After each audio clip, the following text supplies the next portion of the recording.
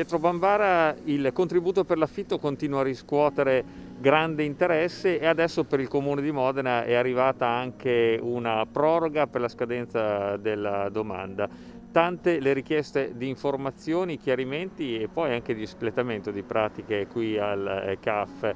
Ecco, che cosa chiedono, che cosa è importante sapere, che cosa si può fare qui? Le domande più comuni sono come eh, si presenta questa, questa, domanda. Chiaramente noi vi aiutiamo, ma è assolutamente necessario presentare un ISE.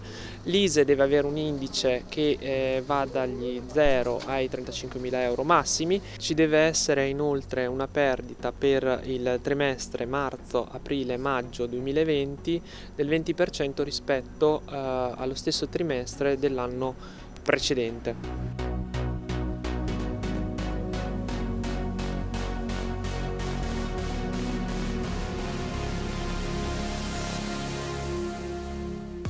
La domanda può essere fatta da eh, tutti i residenti eh, nella nostra regione, quindi in Emilia Romagna, e siano assegnatari di eh, un alloggio ERP.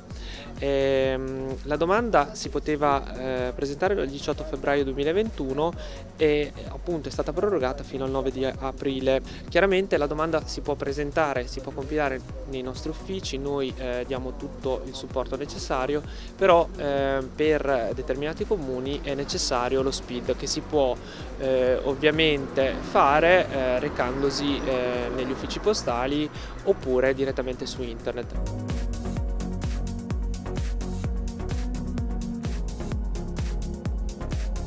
Inoltre eh, in questo periodo eh, le domande per eh, la dichiarazione dei redditi sono ovviamente in aumento, noi ovviamente stiamo già eh, fissando gli appuntamenti per chi eh, è nostro cliente da anni ma anche eh, per i nostri nuovi clienti. Vi ricordo che è possibile eh, non soltanto chiamare al nostro numero telefonico ma anche si può prenotare online comodamente quindi da casa eh, accedendo al nostro sito cafitalia.emiliaromagna.it. Lì troverete eh, anche eh, la lista dei documenti necessari quest'anno per poter presentare sede 30 oppure per richiedere tutti i nostri servizi di tutti i nostri uffici.